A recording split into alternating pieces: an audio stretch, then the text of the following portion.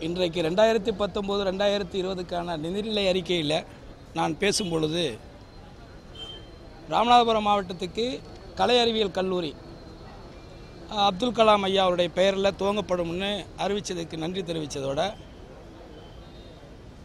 என்னுடைய தொகுதியில் சில கோரிக்கைகள். என்னுடைய தொகுதிக்கு அரசு சார்பாக வருடத்திற்கு வழங்கக்கூடிய தொகுதி நிதியை தவிர புது திட்டங்கள் ஏதாவது ஒவ்வொரு துறை சார்ந்த முப்பத்தி மூன்று அமைச்சர்களும் ஒவ்வொரு அமைச்சரும் ஏதாவது ஒன்றை செய்தால் எதிர்காலத்தில் என்னை வாக்களித்த மக்களுக்கு நான் அந்த ஐந்து ஆண்டு காலம் அங்கே சட்டமன்ற உறுப்பினராக இருந்ததற்கு சரியாக இருக்கும் என்ற கோரிக்கையும் அதை கடந்து ஏழாம் வகுப்பு பாடத்திலே புதிதாக சேர்க்கப்பட்ட ப ஐயா த- முத்துராமலிங்க தேவருடைய வரலாற்றில் சில தவறான நிகழ்வுகள் க குறைகள் இருக்கிறது. அவருடைய பெயர் முத்துராமலிங்கன் என்று இருக்கிறது என்பது சமூக ஊடகங்களிலே சில நாட்களாக பரவி கொண்டிருந்ததுக்கு இன்றைக்கு அமைச்சர் செங்கோட்டையன் அவர்கள் அதற்கு முற்றுப்புள்ளி வைத்தார்.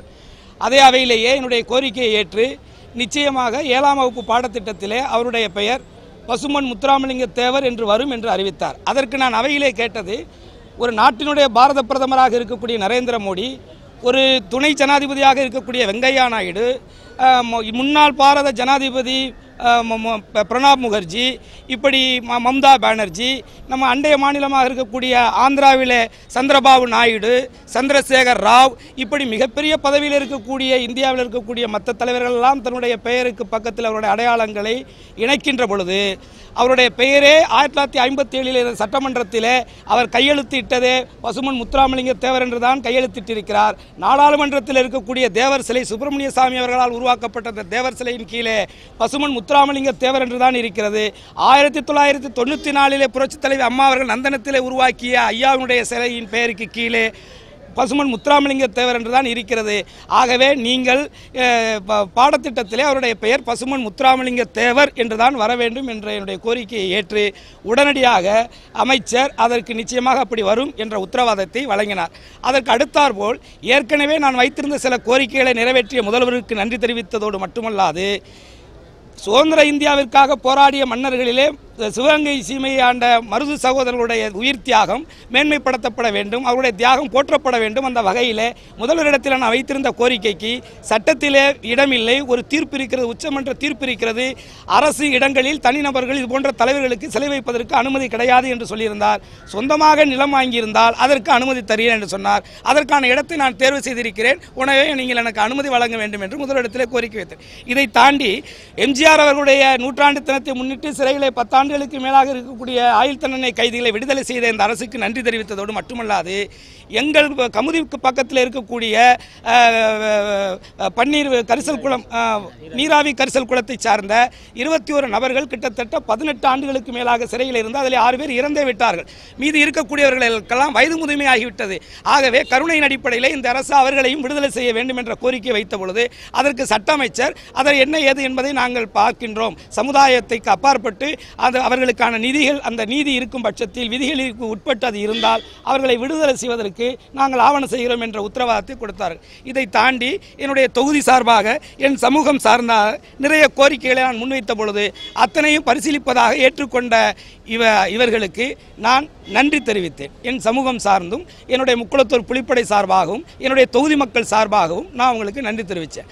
அப்படி சொல்லும் பொழுது அங்கே நான் பேசுகின்ற பொழுது துணை முதலமைச்சரும் முதலமைச்சரும் சில அமைச்சர்களும் சில கேட்ட கேள்விகளுக்கு பதில் சொல்லும் பொழுது நான் சொன்ன பதில் தொடர்ந்து இந்த ஆட்சியை கவிழ்க்க வேண்டும் என்ற எண்ணம் எனக்கு இல்லை. அப்படி இருந்திருந்தால் நான் கூவத்தூருக்கு சென்றிருக்க மாட்டேன். அம்மாவினுடைய ஆட்சி அம்மா தியாகம் தன் உயிரை கொடுத்து உருவாக்கிய இந்த ஆட்சி நிலைக்க வேண்டும் என்று உங்களைப் போல் நினைக்கக்கூடியவர்கள் நானும் ஒருவனாகத்தான் இருக்கிறேன். மீண்டும் நான் தேர்தலில் போட்டியிடுவேனா? மீண்டும் நான் அரசியலில் இருப்பேனா என்பதை பற்றி எனக்கு தெரியாது.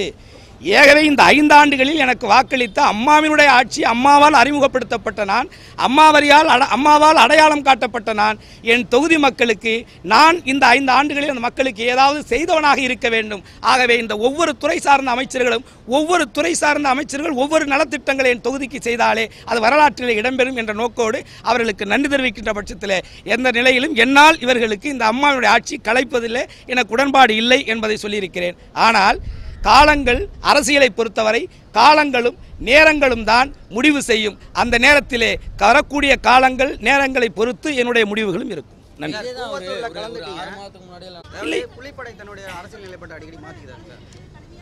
என்னம்மா?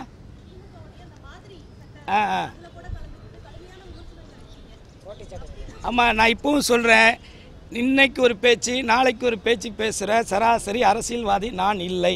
நான் ஒரு சமுதாயவாதி.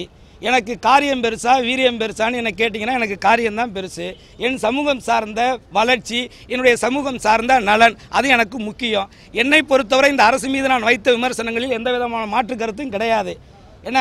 இப்போ ஒன்றுமே இல்லை. இப்போ என்னுடைய தொகுதி மக்களுக்காகவும் என்னுடைய பதவி வந்து நான் ரெட்டையில் நின்று ஜெயிச்சிருக்கிறேன். அரசியல் இப்போ தேர்தல் த ஆணையத்தில் இருக்கக்கூடிய விளக்கம் என்ன? அரசியல் சட்டத்தில் இந்த இது நம்ம தேர்தல் ஆணையத்தில் ஒரு கட்சியில் நின்று வெற்றி பெற்ற நான் அந்த கட்சிக்கு எதிராக வாக்களிக்கும் பொழுது என்னுடைய தகுதியை நான் இழந்துடுறேன். அப்படி இருக்கும் பட்சத்தில் ஏற்கனவே நான் இந்த பதவியை திறந்துடலாங்கிற முடிவில் இருக்கும் பொழுது வேண்டாம் என்ற முடிவு எடுத்தேன். எதுக்கு விடணும் இப்போ? இருக்கட்டும் இருக்கிற வரைக்கும் ஏதாவது நம்ம சமுதாய மக்களுக்கு ஏதாவது செய்ய முடியுமாங்கிற ஒரு ஒரு நப்பாசை தான். மற்றபடி வந்து வேறு எந்த விதமான மா அரசியல் மாற்றம் அதெல்லாம் கிடையாது. அன்னைக்கு வச்ச விமர்சனம் தான் இன்றைக்கும் நான் இன்னொன்று சொல்கிறேன் நான் முக்குளத்தோர் புலிப்படைங்கிற ஒரு அமைப்போட தலைவர். நான் எங்கே வேணாலும் போவேன்.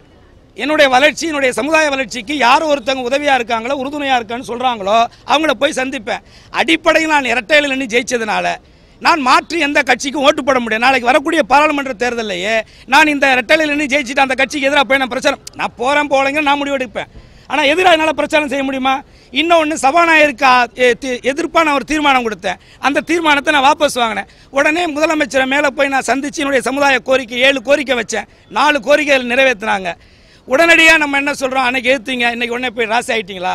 போயிட்டு சரண்டர் ஆயிட்டீங்களா? என்ன சரண்டர் ஆகிறதுக்கு என்ன இருக்குது போய்ங்க ஒன்றுமே கிடையாது. எந்த விதமான தனிப்பட்ட எதிர்பார்ப்புகள் அவர்கிட்டையும் கிடையாது. அப்படி நான் எதிர்பார்த்து போனாலும் அவங்க செய்கிற மனநிலையிலையும் கிடையாது. என்னை பொறுத்தவரை நியாயமான கோரிக்கைகளாக இருந்தால் அவங்க ஏற்றுக்கிறாங்க அதை செய்கிறதுக்கு முன் வர்றாங்க. ஸோ சபாநாயகருக்கு எதிராக நான் கொடுத்த தீர்மானத்தை திருப்பி வாபஸ் வாங்கினோட நோக்கம் வந்து என்ன? குறைந்தபட்சம் முப்பத்தஞ்சு பேர் எனக்கு முப்பத்தி நாலு பேர் ஆதரவு கொடுக்கணும். அவையில் அதற்கான ஆதரவுக்கான நிலை இல்லை.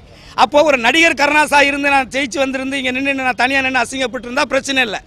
நல்லதோ கெட்டதோ நான் ஒரு சமுதாயத்தினுடைய பிரதிநிதினு புரட்சி தலைவர் அம்மாவால் அடையாளம் காட்டப்பட்டவ முக்குளத்தோர் புலிப்படையின் தலைவனா அந்த இடத்துல ஒரே ஒரு ஆள் நின்று நான் அசிங்கப்பட விரும்பல. அதனால தான் அதை வாபஸ் அதெல்லாம் வந்து அது மாதிரிலாம் ஏமாத்துறதுலாம் நான் தயாராக இல்லை. முக்குளத்தோர் புலிப்படைன்னு சொல்லித்தான் அம்மா சீட்டு கொடுத்தாங்க. அவங்க வாயால் மதுரையில் என்ன அப்படி தான் அனௌன்ஸ் பண்ணாங்க. ஓட்டு எல்லாரும் போட்டாங்க. தொகுதிக்கு நான் நீட்டில் தான் இருக்கிறேன். என் தொகுதியில் வந்து நான் பாரபட்சம் பார்த்து இவங்களுக்கு ஒன்று அவங்களுக்கு ஒன்று இங்கே ஒன்றும் செய்யவே கிடையாது. இது வரைக்கும் நான் தொகுதிக்கு ஒன்றும் செய்யலைங்கிறேனே. அதுதான் ஏங்க நீங்கள் வந்து ஒரே ஒரு தொகுதியில் நான் சட்டமன்ற உறுப்பினர். தமிழ்நாடு முழுக்க முக்குளத்தூர் இருக்கான் மலேசியா உலகம் முழுக்க இருக்கான் அவனுடைய பிரதிநிதியாக தான் நான் இருக்கிறேன். அதனால இந்த ரெண்டு பக்கம் வண்டி ஓட்டுற வேலையெல்லாம் கிடையாது. நான் தலைவனாக முக்குளத்தூர் புலிப்படைக்கு தான் தலைவன். சட்டமன்றத்தில் அந்த தொகுதிக்கு திருவாடன தொகுதிக்கு எல்லாருக்கும் பொதுவான ஒரு பிரதிநிதி.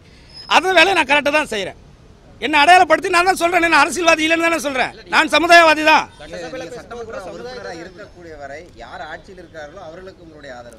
ஆமாம் இந்த ஆட்சி இப்போ எவ்வளோ நாள் ரெட்டலையில் தான் நாங்கள் ஜெயிச்சு. அதான விதி. அதாவது சட்டம் அப்படி இருக்குங்க.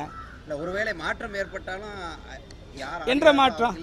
இல்ல, அதான் அது அரசியல் முடிவுகள் வந்து நேரங்காலம் வரும்போது தான் முடிவெடுப்புன்னு சொன்னேன். நம்ம யார்கிட்டையும் கருத்து கேட்கணும் இல்லை கூட்டம் போடணும் எல்லார்கிட்டையும் ஒப்புதல் வாங்கிலாம் செய்யணுங்கிற நிர்பந்தம்லாம் எனக்கு கிடையாது. மெயின் அதான் பிரதர் இரநூறு சதவீதம் என் தொகுதி நான் ஓப்பனாக ரெண்- எந்த விஷயம் செய்யலை. இன்னைக்கு கூட பார்த்தீங்கன்னா அவையில் வந்து அமைச்சர் வந்து என்னுடைய தொகுதி அமைச்சர் வந்து என்னென்னலாம் செஞ்சேன்னு அவரே ஒத்துக்கிட்டார். அப்போ நான் என்னை எதுவும் செய்ய விடலை எனக்கு எதுவும் செய்யலைங்கிறத அவரே வாக்கு மூலமாக கொடுத்துட்டார். அது அவையிலையும் பதிவாயிருக்கு. அதனால் தொகுதி மக்களுக்கும் என் சமூக சமுதாய மக்களுக்கும் எதிர்கால சந்ததிகளுக்கும் என்னுடைய தலைமுறையினர்களுக்கும் ஏதாவது இந்த பதவி மூலியமாக செய்ய முடியுமா அப்படிங்கிறதான் என்னுடைய நோக்கம். அதனால் அந்த அரசுக்கு நான் வந்து இந்த பதிலை இன்னைக்கு சட்டமன்றத்தில் சொல்லியிருக்கிறேன். ரொம்ப நன்றி.